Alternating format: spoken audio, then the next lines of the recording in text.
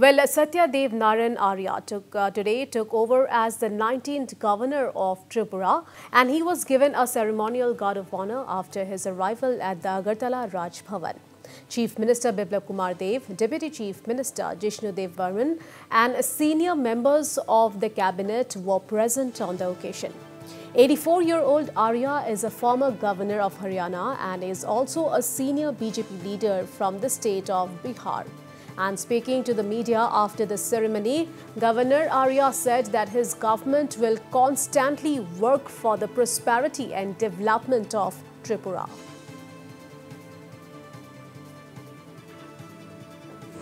राज्यपाल के पद पर आया हूँ आज आपके बीच में आए हैं आकर के मैं चाहता हूँ कि त्रिपुरा को भी विकास के काम में सहभागी बने और यहाँ हमारे लोकप्रिय मुख्यमंत्री भी बैठे हुए हैं।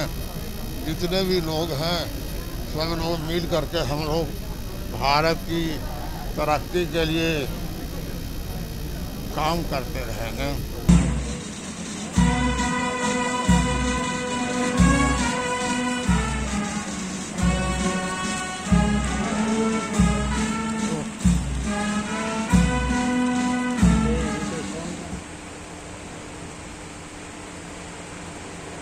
Vamos, vamos, vamos.